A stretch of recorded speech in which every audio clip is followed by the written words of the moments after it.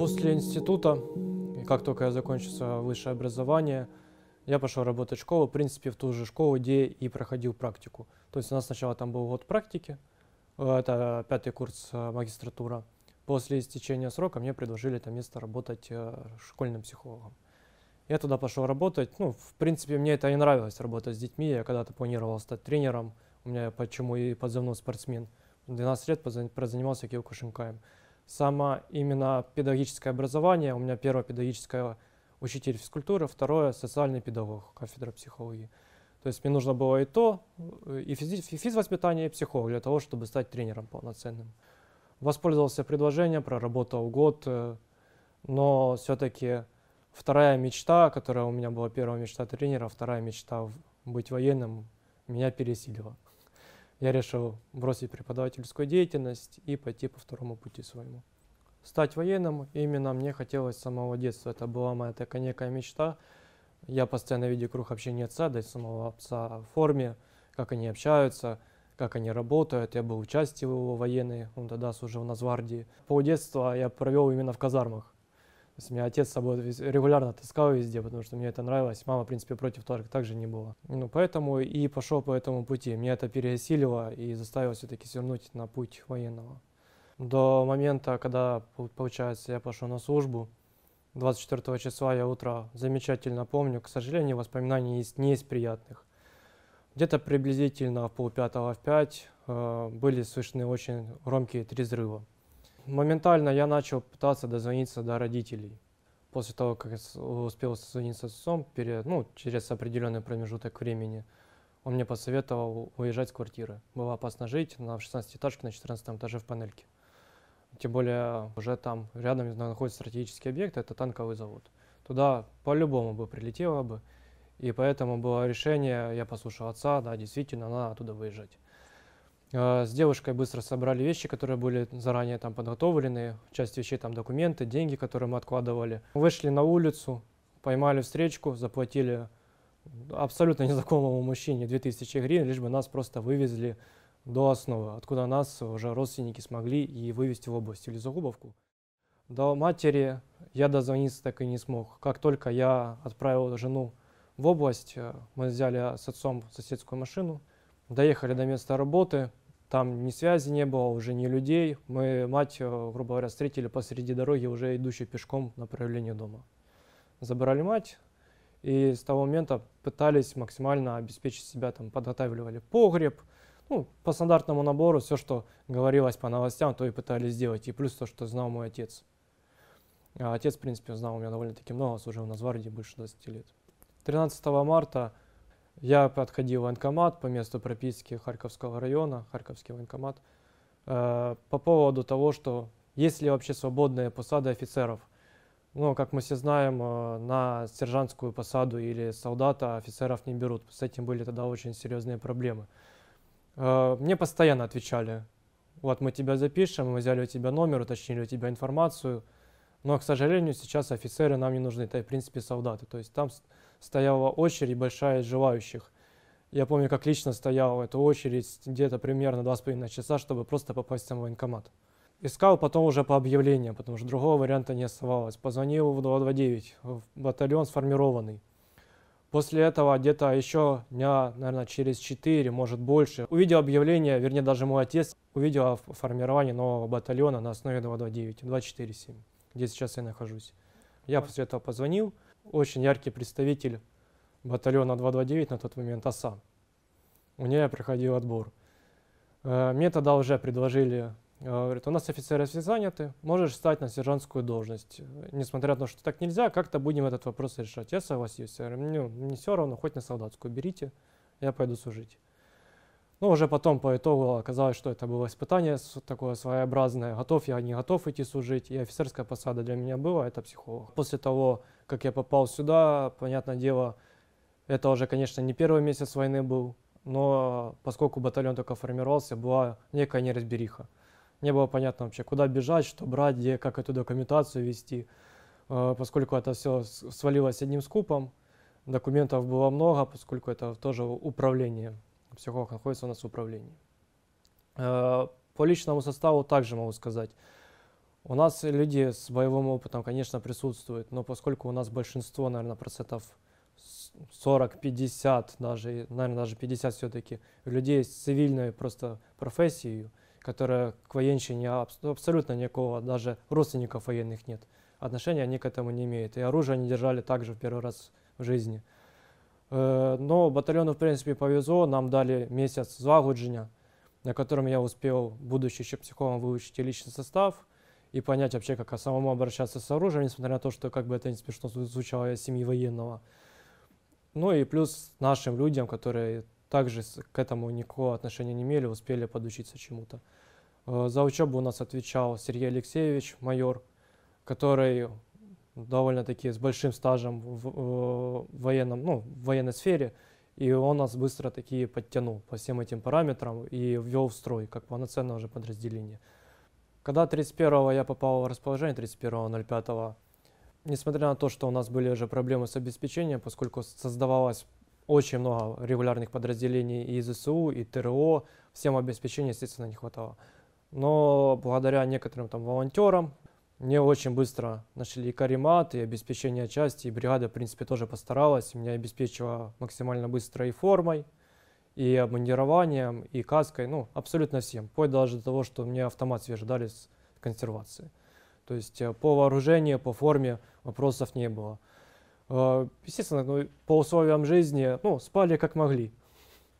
Э, кто с кем где рядом успел занять место, там и спал. Спали на карематах, потом уже это уже с исходом уже определенного времени у нас раскладушки появились, это уже что-то чем-то было. А поначалу спальный мешок, каремат, где-нибудь в подвале нашел себе место, где не продувается, и спишь. К сожалению, оно так произошло, что я не по мирному времени стал военным, а именно уже по военному. Э, благодарен я единственное, чем еще этой войне, то, что собралось вокруг меня очень много интересных разноплановых людей. Тут есть и маркетологи, и также психологи, и преподаватели, и музыканты. Изначально, когда я попал в батальон, э, моя посада называлась офицер-психолог. Меня приняли на должность психолога, мне это дало возможность изучить личный состав. Позже, уже в начале сентября, меня перевели на должность заместителя командира военной части из морально-психологического забезпечения. В мои обязанности входит сопровождение военнослужащего, вновь поступившего. Это одно из ключевых, э, такое, что я должен в принципе делать. Поступают новые военнослужащие на доукомплектование батальона – я должен его полностью сопровождать на всех его этапах. То есть я его должен встретить, объяснить э, устои, правила, правила части, а, объяснить, что делать можно, что нельзя, проинструктировать по всем статьям ответственности, направить его в кадры, обеспечить его социальные гарантии. После этого доставить его командиру, познакомить командиру роты, подразделения подвести. Дальше э, сопровождение ведения действий. Э, каждому, каждой БРКе, боевому распоряжению, прилагается план морально-психологического обеспечения. То есть выделяется определенный отрезок зоны ответственности батальона, части, и исходя из этого части я смотрю так и так. Вот тут есть административное здание такое-то, здесь можно укрыться, здесь можно какое-то мероприятие провести. То есть это, грубо говоря, боевое планирование. Дальше обучение личного состава информирование личного состава. Ну, вот, например, в информирование личного состава, как я уже говорил, входит ответственность по статьям, социально-политическая обстановка, опять-таки делаю выводы и каждую неделю скидываю командирам отчеты эти. И плюс социальное соблюдение всех социальных гарантий. Сейчас идет вот э, распоряжение по поводу УБД, и мы вычитываем, ждем уже с нетерпением, и каждый день хожу и достаю наших кадровиков, когда наконец-то мы сможем этим вопросом заняться. УБД – это удостоверение участника боевых действий. Именно исходя из этого удостоверения человек имеет право получить свои социальные гарантии, то есть это снижки, э, скидки на коммунальные услуги, отправить своего ребенка учиться по социальным льготам, то есть это именно со, прямое соблюдение социальных норм и гарантий для военнослужащих. Также есть такая социальная норма и гарантия для военнослужащих – это отпуска.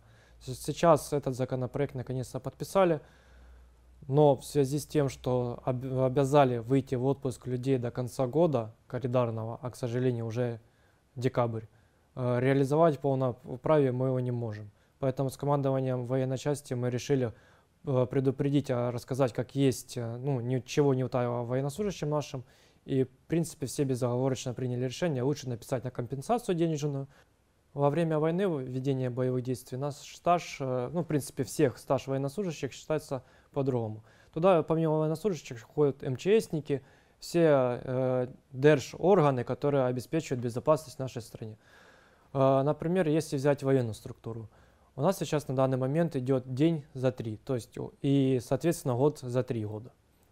За время самой войны, в принципе, я очень много чего переосмыслил в жизни. Война помогает людям найти наконец-то свое таки место призвания и переосмыслить вообще свой образ жизни. Когда я выезжал с Анастасией на тот момент, а это моя, была моя девушка, мы планировали свадьбу ну, года, наверное, через два еще. То есть где-то в 2024 году мы хотели все это спланировать, хорошо отметить. Но в итоге война внесла свои коррективы некоторые и приняли решение вместе на тот момент, как я сказал, уже еще с девушкой расписаться. Поскольку неизвестно, что будет дальше, а, а так, в принципе, поскольку мы уже будем расписаны, легче будет и мне какие-то, ну, дать ей гарантии безопасности, могу так сказать. И легче ей, она будет понимать, где я вообще нахожусь, она может направить в ту же справку военную часть и получить определенную информацию, где я нахожусь, что со мной и вообще на каком я свете нахожусь. Ну, в принципе, у нас по этому вопросу где-то в течение двух-трех месяцев после залужения расписалось процентов 30 нашей части. Все поняли, что надо не терять времени, заниматься помимо войны своей личной жизни, потому что время убегает быстро. Непонятно, где мы очутимся буквально через неделю, на какое направление нас могут перекинуть и вообще, что будет с нами происходить. Будем мы на связи, не будем мы на связи. А так хотя бы тоже колечко, которое, казалось бы, банальное, оно хоть как-то смотришь на согревает свою душу, там, сердце. То есть уже хоть на что-то можно опираться в плане моральном. И понимать, что надо руки не опускать, тебя там ждет любимый человек. Моя жена находится в Харькове на данный момент, ну, налаживает мирную жизнь как может. Поскольку мы уже затронули тему именно свадьбы, женитьбы, общения между семьями, ну, тут очень важно добавить, что даже сейчас, на момент, когда уже есть и э, спутниковая связь Starlink, мы обеспечили часть, чтобы можно было связываться хотя бы хоть как-то элементарно с родственниками. Все равно военнослужащие скучают за своими семьями.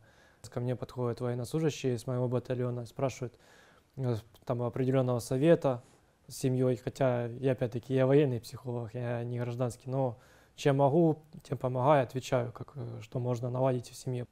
Разница между э, гражданским психологом и военным психологом заключается в узконаправленности э, вообще работы.